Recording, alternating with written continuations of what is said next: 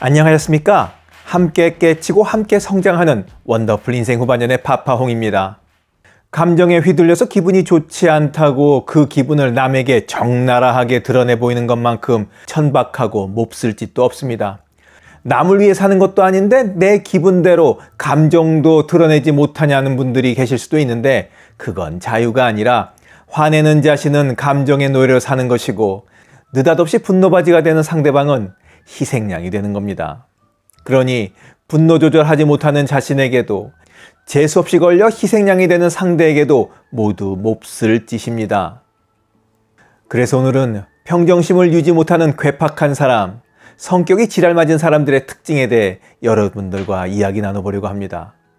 감정의 노예가 되어버린 사람들의 이야기 지금 시작합니다.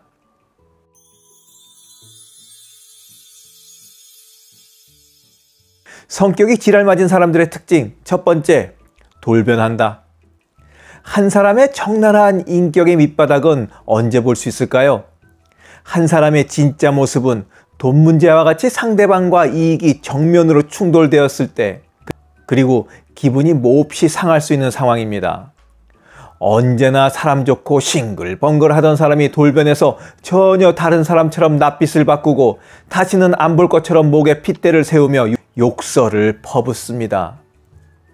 더구나 사소한 일에도 감정 기복이 심해서 돌변하는 사람이 한 집안의 가장이라면 온 가족이 언제 돌변할지 모르는 그 지랄맞은 가장 때문에 모두가 살얼음 위를 걷듯 위태위태합니다. 아유 죽을 맛이죠.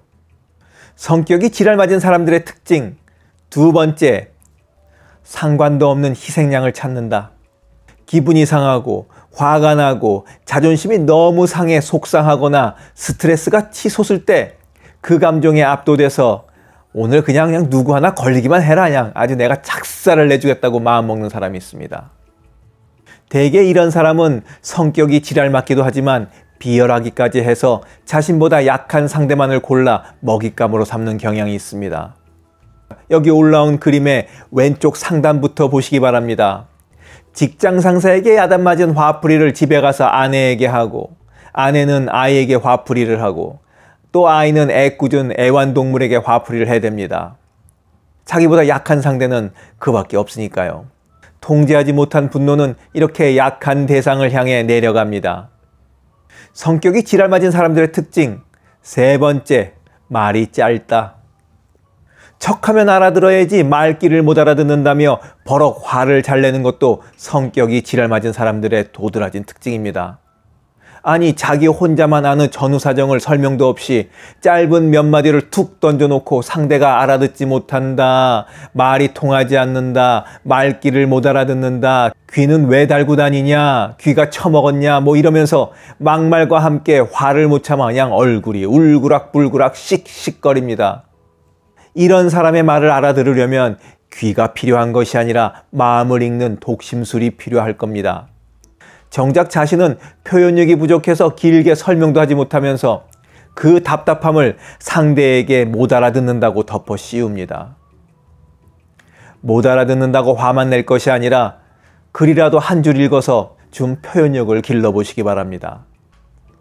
성격이 지랄맞은 사람들의 특징 네 번째 뒤끝없다고 선수친다. 소위 뒤끝없다고 하는 사람들은 대개 묻지도 않았는데 뜬금없이 먼저 난 뒤끝없는 성격이라고 선전을 해댑니다. 아니 누가 물어봤냐고요. 이것은 사실 자기 성격 좋다고 자랑하는 것이 아니라 내가 언제든지 팍 돌면 그 자리에서 지랄을 하니까 네가 이해를 하거나 알아서 잘 피해라. 나에게 당하면 피하지 못한 건 네 잘못이다. 이렇게 선수를 치는 겁니다. 일종의 선전포고예요. 뒤끝 없는 성격이라고 자랑하지 마시기 바랍니다. 그건 자랑이 아니라 나 지랄 맞고 무례한 사람이라고 인정하는 겁니다.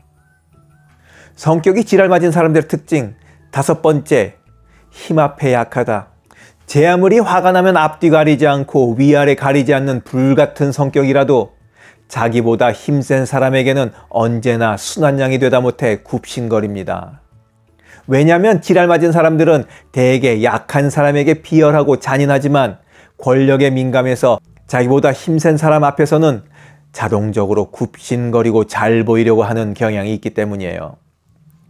꼭 못된 상사에게 당했던 사람, 지독한 시어머니에게 들들 볶였던 며느리, 부모에게 학대받았던 사람이 나중에 자기 부하 직원에게 더 모질게 하고 자기 며느리를 아주 잡아먹을 듯이 덤벼들고 또 자식들에게 학대를 해댑니다. 보고 배운 것이 약한 사람 그렇게 괴롭히는 것밖에 없기 때문이에요. 나이를 먹는다는 거, 연륜이 깊어진다는 것은 다름이 아니라 자신의 감정, 특히 분노를 잘 다스리는 능력이 커지는 것이 아닐까 생각합니다. 하지만 나이 들어서까지 분노 조절을 못하고 가족들을, 부하 직원을, 서비스하는 사람들을 희생양 삼아 화풀이를 해대는 모질이들이 있습니다.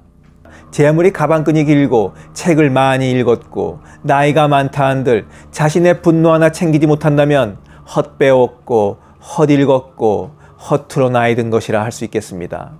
영상을 보신 모든 분들이 럭비공처럼 어디로 튈지 모르는 그 지랄맞은 성격의 소유자와는 멀리 떨어져 사시길 바라면서 오늘 이야기 마치도록 하겠습니다. 그리고 우리는 우리 자신을 되돌아보면서 성격을 좀 더더 더 다스려 보자고요. 원더풀 인생 후반년에 멋지게 나이 먹기는 계속됩니다. 감사합니다. 자랑질, 지적질, 아는 채, 있는 채 하는 사람들에게 지치셨죠? 상대방의 얘기 경청하고 익은 벼처럼 겸손한 사람들이 모인 곳이 있습니다. 바로 네이버 카페 실버들의 전성시대입니다. 너무 가깝지도 너무 멀지도 않은 친구가 필요하다면 네이버 카페 실버들의 전성시대로 오시면 됩니다. 아래 댓글란 맨 위에 초대글을 올려놓을 테니까 클릭하고 들어오시면 아주 간단하게 회원가입이 됩니다. 아 참! 냉소적이고 비아냥거리고 자기주장 강하고 남 얘기에 이죽거리는 분은 죄송하지만 절대 사양합니다.